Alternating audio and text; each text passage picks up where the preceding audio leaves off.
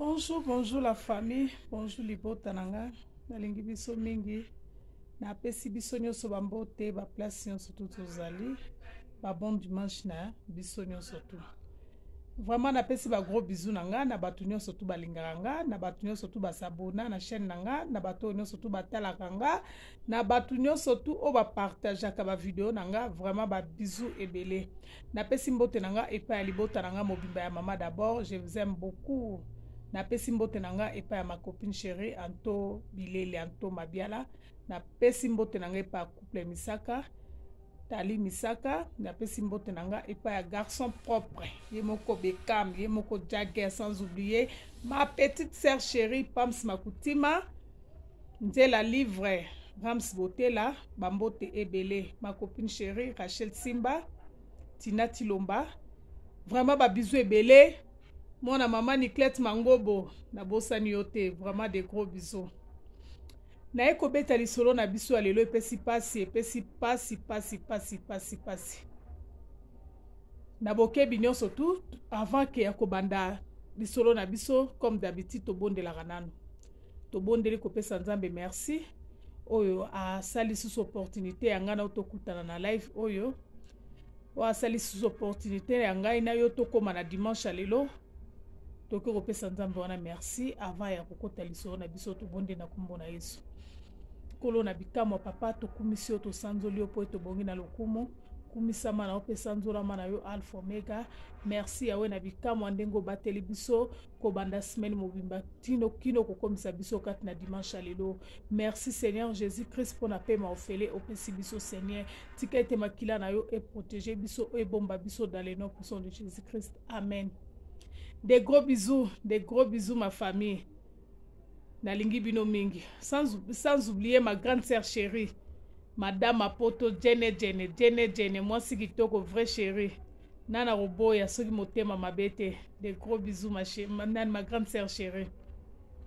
eh, tokobeta histoire na biso histoire na biso eza boye ezali na couple moko boye baza na kinshasa epesi mpasi lisolo oyo me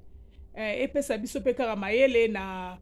na bogenese bavi nini oyo topasaka nango parceke toyebaka teke bavi oyo topasaka nango na bogenese yango nde eratrapaka biso ntango tokomaka mikolo nde lisolo tozobeta ya couple oyoyo ozosala makambo mosusu na ignorance mai ntango okoma dans le besoin mabe na yo oyo wana osalaki na ignorance eye koratrape yo ndenge histoire ekomeli couple na biso oyo toza na couple na biso moko babalana na congo basala 10 ans de mariage 10 ans de mariage mama na biso abalaki azalaki na 25 ans lelo akomi na 35 ans papa na biso abalaki azalaki na 25 ans azalaki na 30, na 30 ans lelo papa na biso akomi na 40 ans de mariage na kati ya ndako na bango babotaka te en tout cas batamboli na bahopital ebele batamboli na bahopital ebele bamonaka mwasi aza normal mobali mpe papa na biso aza normal me kati na bango mibale mwana azoya te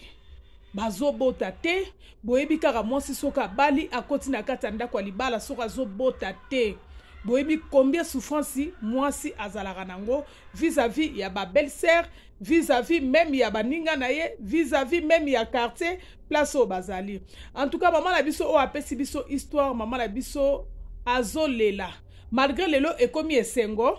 mais azobeta passe ya témoignage na ye oyo elekelaki ye Mama na biso alobi nani yango afinga ye te nani yango asakana na ye te na babelle sœur kutu koloba te voir meme bana ya babelle sœur na ye bakomaki kose monke na ye bana oyo akuta mike na libala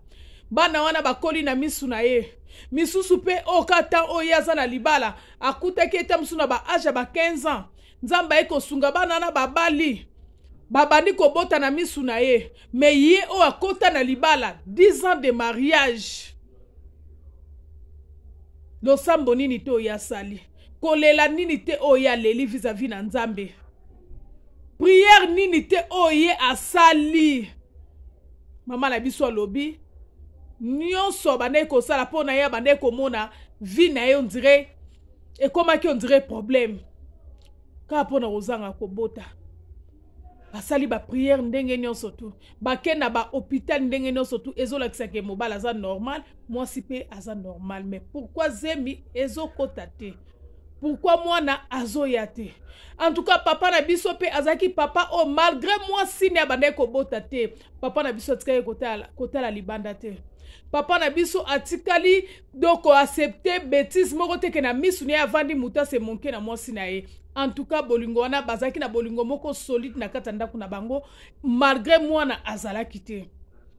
epuis mama na biso azalaki mama mpe oyo alingaki bana mingi nde ezala bato mosusu soki azobota te bazala mitema mabe me mama na biso malgré azalaki na mwana oyo aye moko abimisi na libumu na ye te me bana ya basemeki nde bazalaki bana na ye abandaki kolinga bana makasi me kobota ezalaki kati na bango te kaka nzambe na bolingo na ye kaka na meme eglize oyo basambelaka na meme eglize oyo basambelaka baye kozwa revelation ntango baye kozwa revelation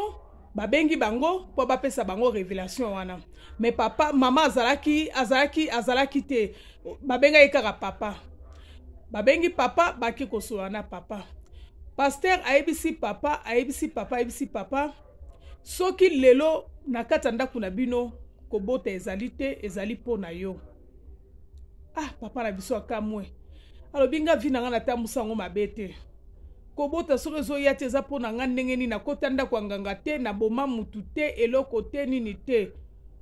apart ka bo jeunesse ndenge bato bana bajeune ba garçon nyonso tout ndenge bazalaka naboya kobota na bo jeunesse na ngai nalobaki ke nakobota bana na ngai kaka na mama moko naboyaki kobota bana bazala mama différent mama mama mama mama yango mona bandaki kogarde ti nabala nabota bana na nga esika moko siko kobota ezoya te mpo na ngai na sens nini paster ayebisi ayebisi papa na biso alobi oza mosala nzambe kota bapriere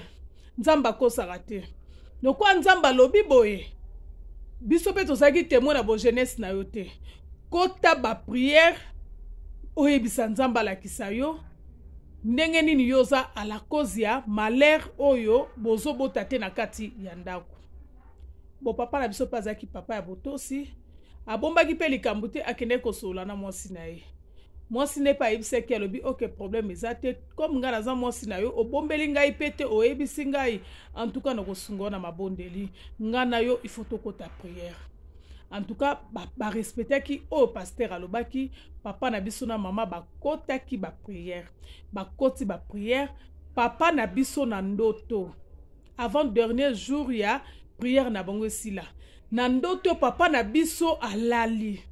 ntango alali na ndoto papa na biso azwi revelation amoni bana bazolelela ye bana bazolela papa papa papa, papa mosusu omona alingi abenda mwana moko asimba ye boye mwana atiki loboko abenda mwana moko asimba ye boye mwana ti do akokaki kosaisir ata mwana moko te na revelation oyo ndenge ye azwaki wana ntango mpe alamuki na ntongo ayebisi mwasi na ye ndoto bazwaki ndoto oyo ye azwaki mwasi alobi ah peut-être eza lipamboli nzambe aolinga apesa biso mwana tokontinue kaka na mabondeli baye kokontinue priere na bango ti dernier jour eye kosila nde papa na biso ake okutana na pastere ntango ake okutana na paster asori na paster paster ayebisa lobi ok donc nzambe akosaka te révélation oyo ngai nazwaki yango effectivement mpe nzambe ake olakisa yo ake olakisa yango donc ebimi sikoyo uniforme mbala moko donc na miniti oyo oyo yo zongisa kaka reflexion reflexion nono nsima banda kotala bando banda kobima na basi avant mariage na yo eske yo osi avorta mwana mwasi olongola mwana mwasi moko zemi nde e paster atouche point wana papa na biso aye kozongisa memoire aye komona yes na bogenese na ye en tout cas abandaki kolinga mwasi azala na zemi na ye te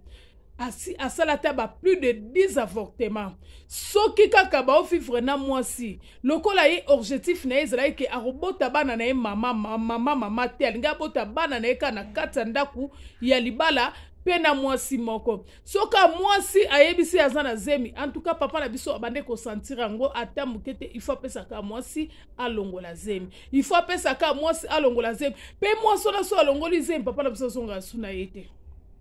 papa na biso ye kozonga na réflexion ye moko papa na biso ayebisi pasteur vérité abi pasta biloko olobi eza effectivement eza biloko oyo ngai nasala na bojeunesse na ngai mais lokola eza ngam naza à la base antuku nzambe alimbisa ngai na reconnaître mabe na ngai oyo ngai nasala na bojeunesse na ngai nalongola basi zemi plus de 10 femmes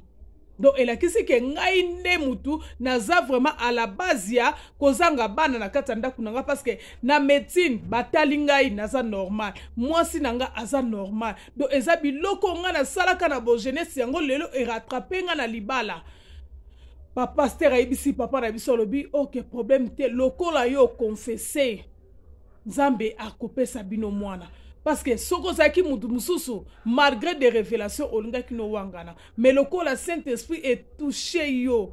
okonfese oyo osalaki na bogenese tozokontinue kaka na bapriere ngai na kolemba te tobanda osambela bino mpe bolemba te bosambela makambo mpe oyo oyebisi ngai akobomba te yebisa mwasi no na ndako parce que mwasi no mpe azo soutenir yo na baprière to continue kobondela nzambe alobaka avec précision lokola yo mpe oreconnaitre mabe na yo osali repentance na yo sincère na miso ya nzambe nzambe aopesa bino bana eleki papa mpe akenda solola na mwasi na ye en tout cas mama na biso wana mpe aza mwasi ya comprehension na ndenge ya moke te mama mpe acomprendre abi te oza mobali na ngai na koyedoka na ba toko continuer kaka kobondela bazo continuer kobondela mama na biso supe azo continuer kaka na humiliation na belle famille kose monke na ye azo continuer en tout cas mama na biso ayikaki mpenza piko parce que papa na biso azalaki na bolingo makasi vers mwasi na ye atikala kozala infidèle ata mokolo moko te ntango mpe papa na biso ye moko ayaki kocomprendre ke ye nde moto azalaki à la base ya makambo wana nyonso en tout cas papa na biso ayaki kobakisa esu bolingo makasi na mwasi na ye une année ekoleka après une année ya révélation une année ekoleka papa na biso autaki mosala ere azozonga kaka boye akutani na kamarade ya mwasi na ye moko ya kala oh akutani na mwa kamarade ya mwasi na ye moko ya kala bandi kosona kamarade e eh, mikolo ebele boye na boye eza ata ba 15 ans ba 13 ans passé bamonana pe te ah ozalaka na mokili wana naza naza eh, boni e eh, malamu Eh, bongo omonanaka te boye ndenge nini abi ah, naomonana ndenge nini eh, ngai deja esi na bala boye na boye papa akomi koyebisa camarade ya, ya, ya, ya, ya, ya mwasi ne wana ya kala tozongi nanu mwa moke nsima camarade ya mwasi ya papa wana ya kala mwana mwasi wana aza na mwana ya papa na kati ya ndako mwana mwasi wana aza na mwana ya papa kaka ndenge nayebisa koyebisa na biso ke papa na biso azalaki soki kaka mwasi azwi zemi na ye abandaki kozongela esu deuxième fois te soki apesi mwasi kaka mbongo alongola zemi antuka papa na biso ekosimba lisusu te sikoyo mwasi oyo ya suka ya papa na biso oyo apesaka mbongo alongola zemi papa na biso alongolaka zemi wana mama na biso alongolaka zemi wana te mama na biso ntango papa na biso aye ko pesa ye mbongo alongola zemi mama na biso akendaki koyebisa grande sere na ye alobi ah yaya naza na zemi me mobali na nga alingi nalongola zemi alingi nabota mwana oyo te sikoyo yo oza yaya na okosa likambo te sanke nayebisa oye mpe na yaya nayo bande kokopere très bien conseil nini okopesa ngai nalongola ou bien nasala nini yaya na bango wana mpe ayebisi leki nalobi ah yo oyebi badifficulté mpe oyo tozalaka nango na problème ya fami makambo ya bana biso moko baboti biso mingi te epuis soki mobali deja opesa yo mbongo ke olongola zemi seke mobali wana alingi yo te yo sikoyo stratégie nini ngai nakopesa yo tanke leki na ngai kolongola zemi te soki mobali apesi yo mbongo yo olongola zemi zwa mbongo wana sala nango commerce biso na famille na biso makambo toza, toza ebele te toza na bana mingi te nga tanke yaya jamais nakopesa conseil olongola zemi mieux vaut kutu osala ata commerce na mbongo wana ata ngai yano na banda koede yo obota mwana na yo un jour mwana wana akosunga yo liloba yaya ayebisa leki na ye yango wana yaya wana mpe nde nazobetela bino lisolo boye nzambe abenda molimo na ye yaya akufa me mama na biso wana ayokaka conseil ya ya na ye ntango bakomi koevolue na mobali moba ayekaki koyebisa mobali makambo aze mobali aboyi mpenza te te te te te soki olingi toyokana ngai na toviva malamu antuka yo folongolaka zemi nde mama na biso mpe lokola sa ayokaka conseil ya ya na ye ayebisi papa na biso mpe mwa monta moko boye ya likolo okende akendeki koserensie na hôpital moko boye mpo na kolongola zemi nde zemi eso ekomi ya 3 mwa boye montant na yango yango oyo papa na biso mpe place wana mpenza ezitaka te abimisa mbongo apesi mwasi ntango apesi mwasi ye mwasi mpe akenda asomba na ye babiloko ya koteka mais entre temps ye na papa mpe bavivaka kaka e eh, bazovivre na papa mama ere amoni zemi ekomi na 4 mois demi ke mobali akoya koremarke ke alongola zemi te mama na biso ase deplace alongwe na commune oyo azalaki entre temps mpe mobali mpe kaka na caractère ne ndenge azalaka kaka ke soki mwasi asi alongoli zemi na ye asalaka tu mpenza akima mwasi wana libala ekufa bango mibale nde papa na biso akomaki mpe indifferent na mwasi wana ekomaki ere moko so mwasi azobenga ye azoyamba te mwasi azobenge azoyamba te donc bakomaki na mwa ba distance bango mibale mwasi na mobali Maman na biso place a changea quartier akenda abota mwana na ye abenga pe mobali te eloko te na ndenge ba perdaka ba contact ayebaki nde ndi place akozwa mwasi te toye kozonga ntango papa na biso aye kokutana na kamarade ya mwasi na ye ntango aye kokutana na kamarade ya mwasi na ye ya ex mwasi na ye wana nde na kosolola wana nde sikoyo mama na biso kamarade ya mwasi eh, ya mwasi ya ex mwasi wana nde ayebisi papa alobi ah papa soki moye kozala tokutana quelque part naza na lisolo moko boye tosolola ngai na yo ah, papa alobi ya eh, lisolo tosolola e eh, bona boye kaka ndenge ezalaka ambiance ya ex ya kala entouka bamesanaka mpe na papa bazalaki très bien so moye kozala tovanda ata na mwa na restaurant naza na lisolo moko boye tosolola na yo